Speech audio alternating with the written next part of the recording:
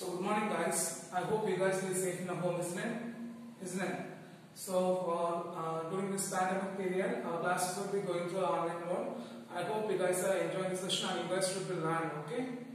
And I hope I expect you guys to be safe in the home, isn't it? Okay. So for previous sessions, we see about data comparison of EMF of two cells and internal resistance using potentiometer, isn't it? So guys, what is potentiometer? Guys, what is potentiometer? Potentiometer is an instrument which is used to measure the potential difference across the any point, isn't it? The potentiometer is an instrument which is used to measure the potential difference, isn't it? And what's the principle of potentiometer? Whenever the balancing length, what is that? Whenever the balancing length will be equal to the EMF of a cell, what is that? Whenever the balancing length will be equal to the EMF of a cell, the galvanometer shows the zero deflection, isn't it? The galvanometer shows the zero deflection. Then we see the comparison of EMF of two cells and the internal resistance using potentiometer, isn't? So for comparison of EMF of two cells, what you get out? The ratio of EMF of two cells, E1 by E2 is equal to L1 by L2. The way comparison, what is that? The ratio of EMF of two cells, what is that? The ratio of EMF of two cells, E1 by E2 is equal to L1 by L2. Here, E1 and E2 are the EMF of a cell and L1 and L2 are the balancing length of a two cells. Balancing length of uh, a cells. The next we see the internal resistance using potentiometers, right? So for internal resistance using potentiometer, what you get now? The small resistance is equal to capital R into L1 minus L2 by L2. What is that? Small r is equal to capital R into what is that? The small r is equal to capital R into L1 minus L2 by L2. Clear? Here small r represents the internal resistance and R, resist, R represents the known resistance. L1 and L2 are the balancing length of a EMF of a cell. Okay? Clear? Clear. So I hope you understand the uh, you guys learned that uh, here the comparison of EMF of two cells they can ask a repeated 5 mark question as well as a 3 mark question and the internal resistance using the potential potentiometer also they can ask for 5 mark question okay clear and today's sessions we are going to see about the heating effect of electric current okay what is the heating effect of electric current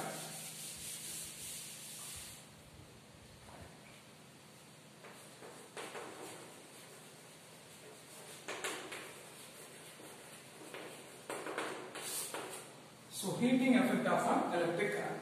So when electric current passes through the resistor, what is that? When electrical current passes through the resistor, we know that uh, whenever the current will be passing through the resistor means what happen there?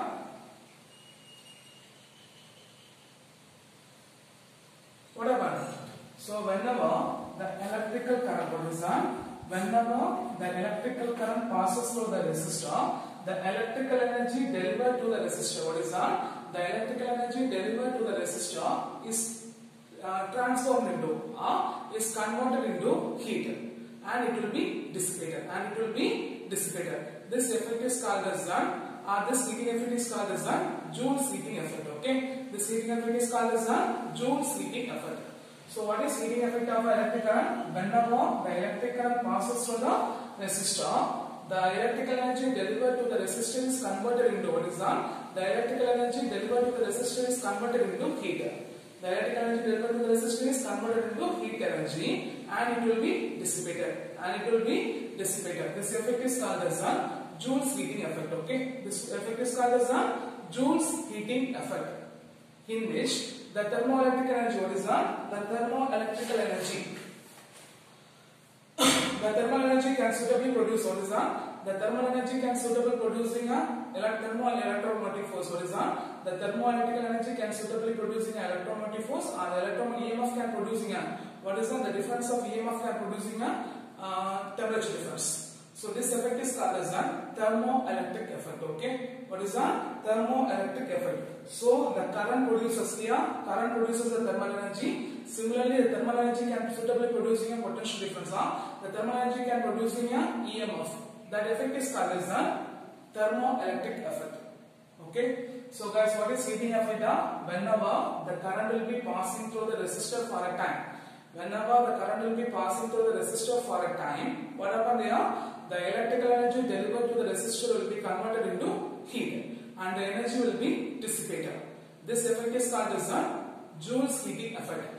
So the thermal energy what is that? The thermal energy can generate or when a current will be current producing a thermal energy, similarly the thermal energy can producing a electromotive force. Okay, this effect is called as a thermoelectric effect. This effect is called as a thermoelectric effect. Okay, clear. So the next one is the Joule's heating effect. Okay, what is the Joule's heating effect? So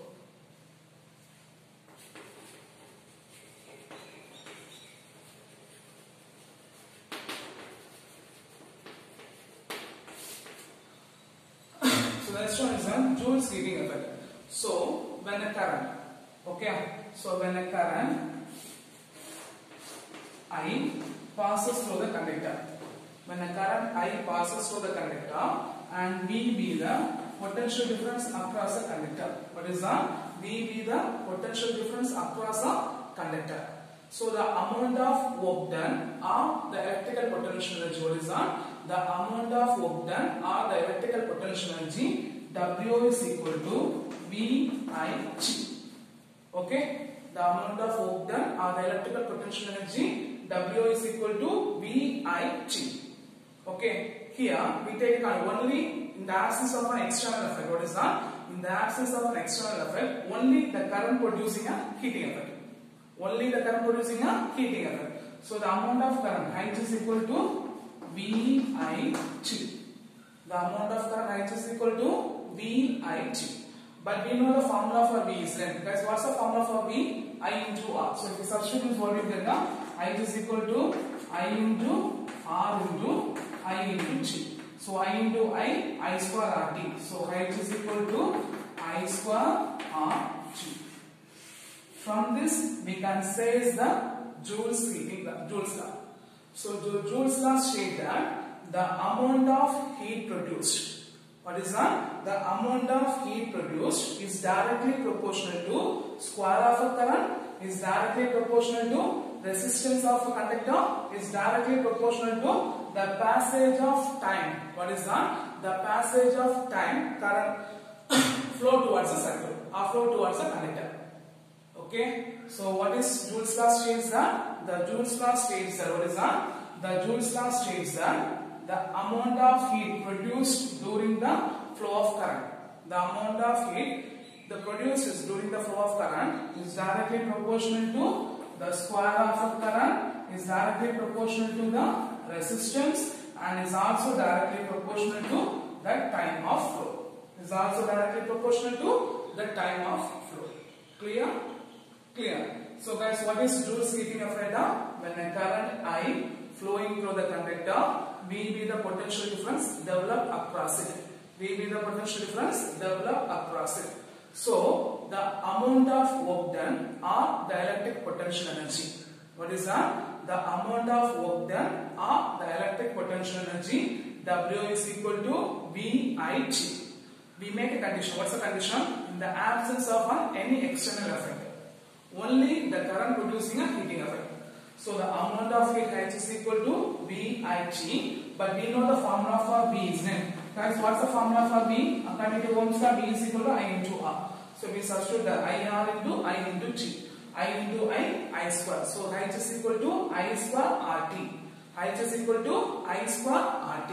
From this point, we can say is that the amount of heat that produced during the passage of current will be directly proportional to square of a current, directly proportional to the resistance of a conductor and directly proportional to the times of. Okay, clear? So from this, what are the points we see that? Uh, first is the heating effect, then we see the Joule's law. So guys, what is heating effect? Whenever the current will be passing through the resistor, the electrical energy will be converted into heat and will be dissipated. This heating effect is called as the Joule's heating effect. Joule's heating effect, in which the current producing a thermal, thermal energy, similarly the thermal energy can producing a electromotive force. The effect is called as a thermoelectric effect. The effect is called as a thermoelectric effect. So first question, Joule's heat, what is Joule's heating effect? Second question, what is thermoelectric effect? Okay, and third one, States Joule's law. So what is States Joule's law? The amount of heat.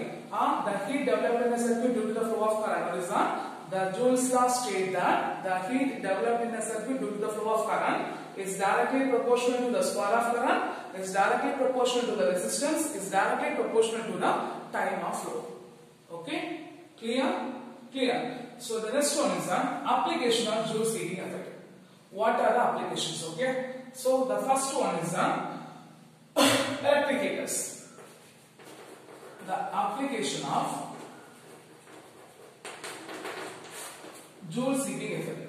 Okay? So the first one is the electric heater. Okay? So guys, what are the home applications that using a Joule's heating effect? Um, electric iron, electric furnace, and electric heater. That are the instrument, or that are the home appliances that utilize the joule heating effect, or utilize the current to produce a heat, or utilize the current to produce the heat, or which is the examples of a Joule's heating effect. So what are the examples? Electric iron, electric heater, electric toaster. These are the examples of what is that? These are the example or these are the home appliances that utilize uh, the effect of heating effect of current. In this element, what is that? In this materials are this electric iron, heater, toaster. They are made up by the heating element called nichrome. Nichrome is an alloy of nickel and chromium. Is an alloy of nickel and chromium. Okay. So why this element are or why this heating element will be made up of nichrome? Because nichrome is an alloy of nickel and chromium. They having a high melting point. What is that? They having a high melting point. Even at the high temperature, they having a they having a, uh, they they will be getting a high temperature at the low oxidation point. Okay? Clear? Clear? Okay, so what is electric heater? The electric heater, examples of electric heaters are electric iron heater, toaster are the home appliances that utilize the heating effect of current in which they are made up by the heating element called nichrome. The nichrome is an alloy of nickel and chromium. Nichrome is an alloy of nickel and chromium. Okay, nickel is an alloy of nickel and chromium. Why nichrome is used as heating element means it having a high melting point. What is that? It having a high melting point and also they will be heated at a uh, high temperature. Okay, they also having what is that? They having a high specific resistance and also they will be heated at a high temperature at the without oxidation. They can be heated at a high temperature with the oxidation. So what are the conditions you are using it from? They having a high specific resistance. They having high specific resistance and they can be heated without any oxidations. They are being heated by without any oxidation. Clear? Clear. So what are the first applications? Electric heater. So what are the examples? Electric iron, electric heater, electric toaster. These are the home appliances that utilize the heating effect of current in which the heating element will be made up of or these materials are made up by, made up by a heating element called nichrome. Is an alloy of nickel and chromium in which why nichrome is used as a heating element means because they having a high specific resistance they can be heated at high temperature without any oxidation. Okay? The next one is a fuse electric fuse i hope you got another fuse wires right so the fuses are connected in series to the circuit. What is that? The fuses are connected in series to the circuit to protect the electrical device when there is an excessive flow of current so what's the purpose of using fuse electric fuses? Electric fuses, what is done? The electric fuses are connected in series to the circuit that protect uh, that will be protect the uh, electrical electrical device to the excessive flow of current. So when the excessive flow of current, when the excessive excess of current will be flow towards the circuit, the fuse wire will be melted and it will break the circuit and damage and it will protect the electrical devices. So the fuse wire is an alloy of what is that? The fuse wire is an alloy of lead and tin. The fuse wire is an alloy of lead and tin. They're having a low melting point. Okay, they're having a low melting point. And the red wire will be noted by the temperature current of 15 ampere. If the current, if the excess current of more than 15 ampere will be flow towards circuit means the fuse wire will be melted and it will be uh, it will be safe or it will be protect the uh, excessive electrical device from the excessive current. Okay, clear?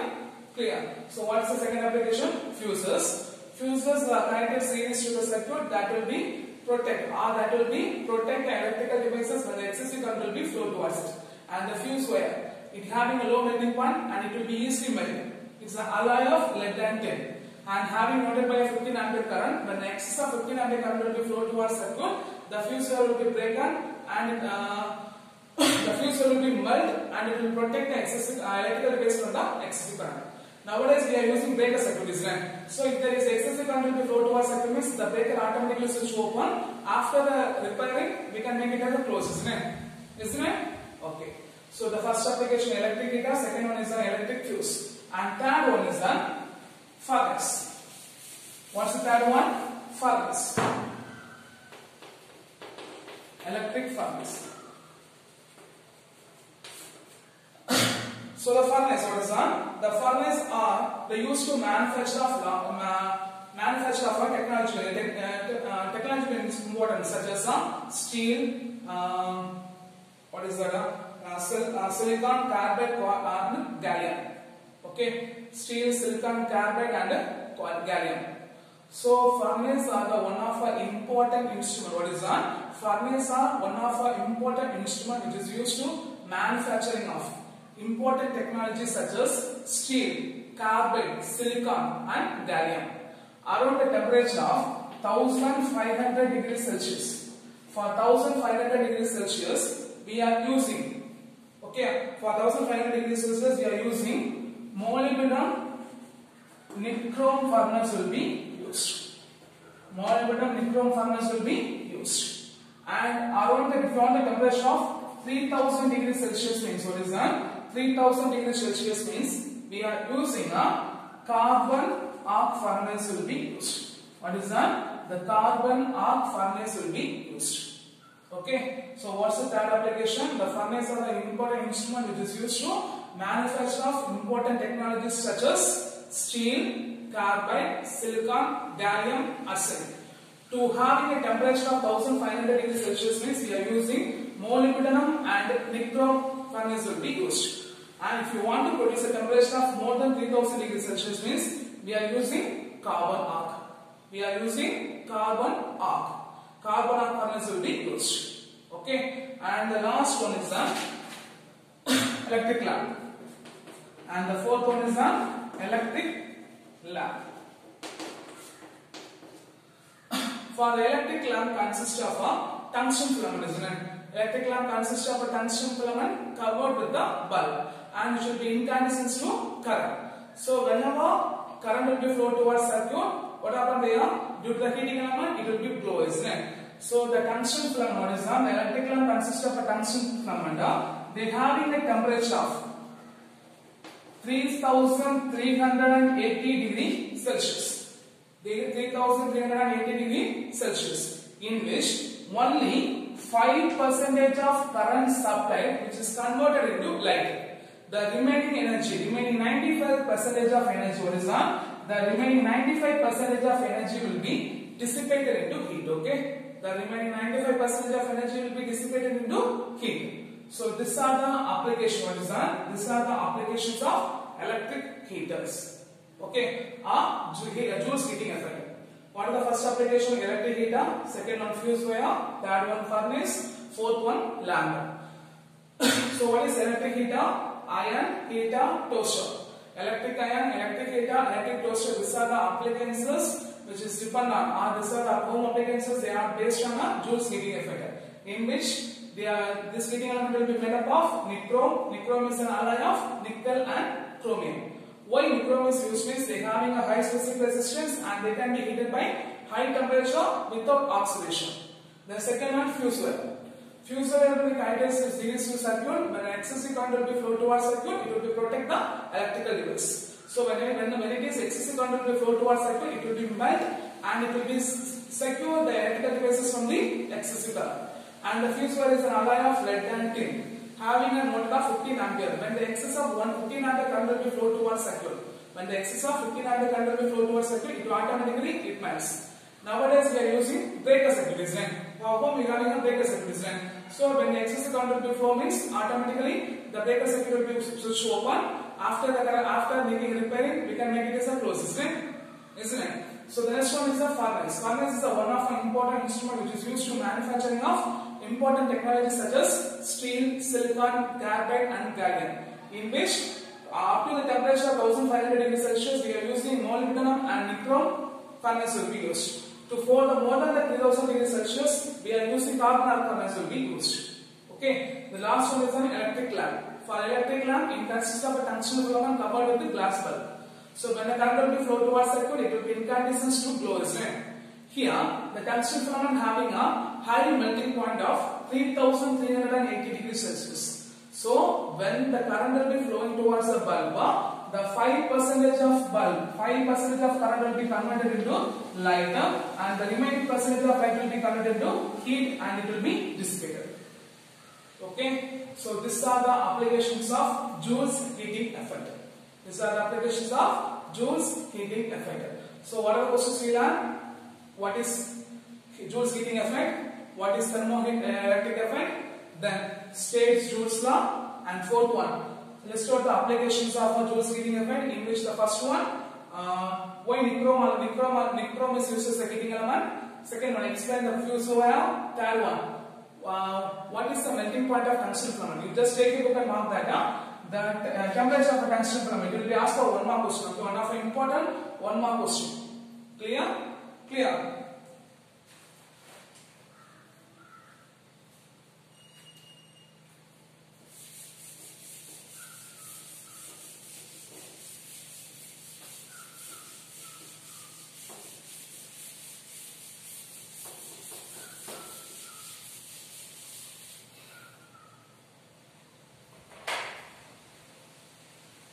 So the next one is done. Thermoelectric effect. Okay. So what's the next one? Thermoelectric effect.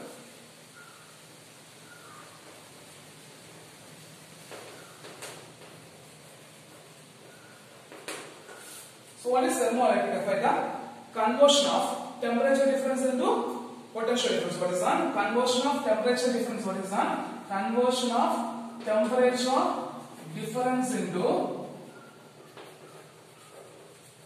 voltage or the voltage into temperature difference then it is called as a thermoelectric effect. So a thermoelectric device can generate what is that? A thermoelectric device can generate voltage if they are maintained by the different temperature or when the, when the voltage will be given to the thermoelectric device they are producing a temperature difference. What is that? They are producing what is that? Generating a temperature difference. So guys what is thermoelectric effect? conversion of temperature difference into voltage or voltage into temperature difference means that's called the thermoelectric effect. So a thermoelectrical device, what is that? a thermoelectrical device can be converted also can be, can be producing voltage if they are maintained by the temperature difference. Or they can be producing a temperature difference if they are given if they are given by the voltage in which we are going to see about the Seebeck effect, Peltier effect and the Thomson effect. Okay, what is one? The Seebeck effect, Peltier effect and the Thomson effect. And the first one is the Seebeck effect.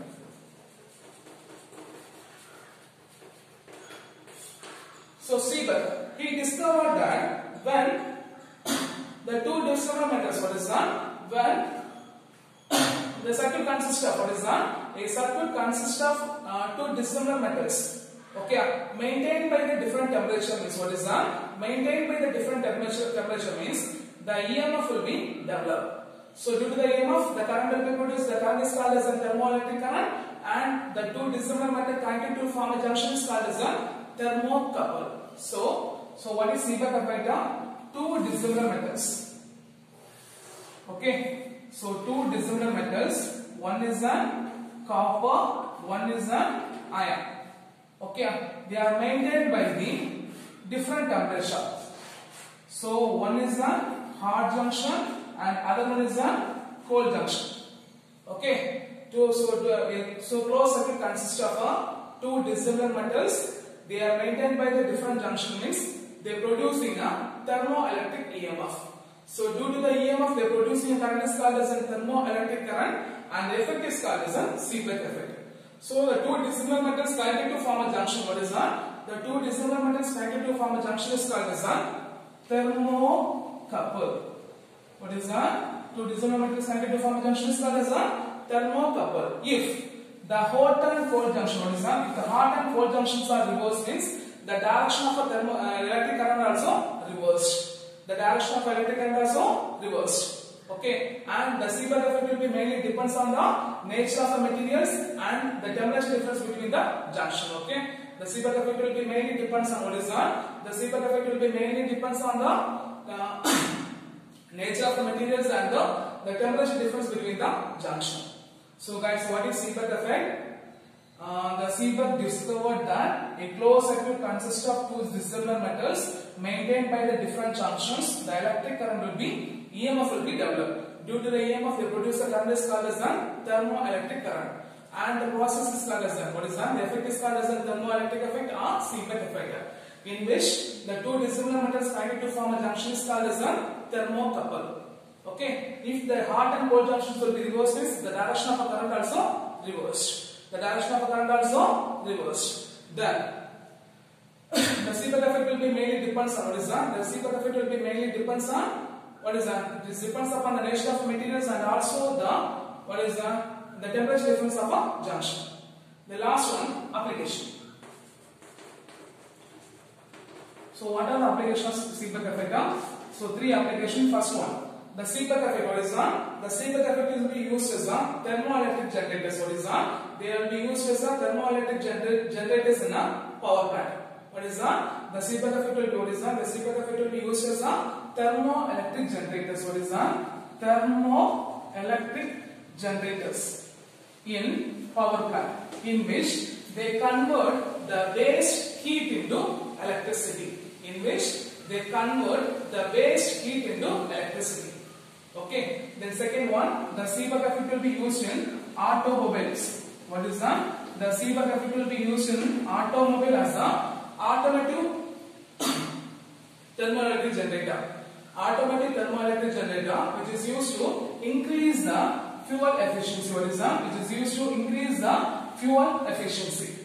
Okay. And third point, the Seebeck effect will be used in thermocouple and thermopile. What is that? The Seebeck effect will be used in thermocouple or thermopiles.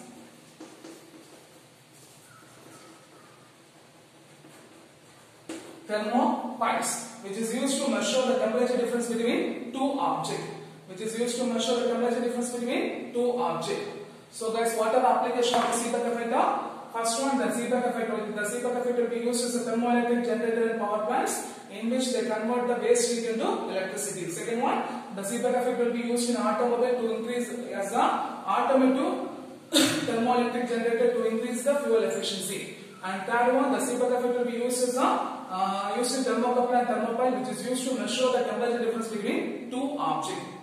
So guys, what is Seebeck effect? It's a of a closed circuit. Or the closed circuit consists of two dissimilar metal maintained by the different junctions and EMF will be developed. Due to the EMF, the current will be produced. The current is called as a thermoelectric current and the two dissimilar metals connected to form a junction is called as a thermocouple. If the direction, if the hot and cold junctions will be reversed, means the direction of the current also reversed. It will be depends on the nature of materials and also the temperature difference between the junctions. Then application, it acts as a thermoelectric generator in power plant to convert the waste heat into electricity and also it is, it is used in automobile as a automatic thermoelectric generator to increase the fuel efficiency and last one they are used as a thermocouple and thermopile which is used to measure the temperature difference between the object. Okay, the next one Peltier effect. So what's the next one? Peltier effect.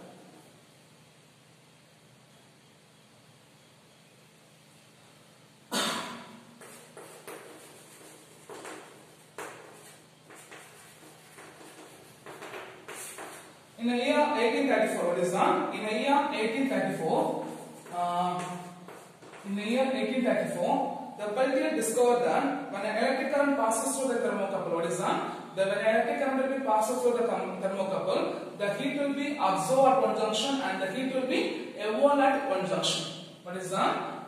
You take as a thermocouple. One is a copper one is the iron. They are connected by the battery. So when an electric current will be passes through the thermocouple, okay, the heat will be absorbed at one junction and the heat will be evolved at one junction. This this effect is called as a Peltier effect, and the Peltier effect is the converse of Seebeck effect. Okay, the Peltier effect is the converse of Seebeck effect, in which when a current will be flow from copper to iron, when a current will be flow from copper to iron means the heat will be absorbed. The heat will be absorbed. At the, at the same time, when the current will be flow from ferrous to copper means, or iron to copper means, the heat will be evolved. The heat will be evolved. Okay. If the direction of a current will be reversed means, the heat absorption and evolve, evolve, uh, evolve also reversed. In case if a direction of a current will be reversed means what happen here? The current will be flow from copper to iron means, the heat will be evolved and this conjunction the heat will be absorbed. Okay. Clear? So guys, what is Seebeck Peltier effect? In year 1834, the Peltier discovered that when the electric current is on, when the electric current passes through the, the thermocouple, when the electric current passes through the two dissimilar metal means the, the heat will be evolved at one junction and the heat will be absorbed at one junction. This process is called as the Peltier effect. Okay. The next one, Thomson effect. Our final topic. Okay, for second lesson, the last topic of Thomson effect when a conductor maintained by the difference of temperature. What is that? When a conductor will be maintained by the difference of temperature, the density of electron at the point will be differ. At the result, the potential difference will be upward. This effect is called as a Thomson effect. So we take a conductor and the conductor will be maintained by the difference of temperature and the conductor will be maintained by the difference of temperature. So the electron density, the electron density of the conductor will be different. So the potential difference will be upward. This effect is called as a Thomson effect. This effect is called as a Thomson effect. Okay. So guys, what is Thomson effect? When a difference of temperature, what is that? If a two point, uh, we take a two point in the conductor maintained by the difference of temperature. What is that? We take a two point in the conductor. If they are difference by the temperature, whatever they are, the electron density, what is that? The electron density of the point will be different, so the potential difference will be upward. The effect is called as a Thomson effect. The effect is called as a Thomson effect. Okay, so here, oh, consider a copper rod. A, C, B. We made two junction. One is an M, other junction is an N. One is a M, and other junction is an N. If a current will be flow from A to B, if a current will be flow from A to B, at the junction M, the heat will be absorbed. At the junction N, the heat will be evolved means this effect is called as a positive Thomson effect. This effect is called as a positive Thomson effect. In case if a current will be flow from B to C means here the heat will be absorbed, here the heat will be evolved. This process is called as a positive Thomson effect. The next one, we assuming a conductor having a iron rod. The same junction A, C, B, we make a two point, one is an M, other one is an N. If a current flow from A to B, at the junction M, the heat will be evolved. At the junction N, the heat will be absorbed. Means the effect is called as a negative Thomson effect. Okay. So guys, what is Thomson effect? We make a two point in temperature. What is that? We make a two points in the conductor maintained by the different temperature. What is that? Maintained by the different temperature at one junction. So the electron density will be different. So the potential difference will be upward. The effect is called as a Thomson effect. it is a copper rod means when the current will be flow from A to B, at the junction A to C the current will be absorbed. At the junction B to C the heat will be evolved. Means this process is called as a positive Thomson effect.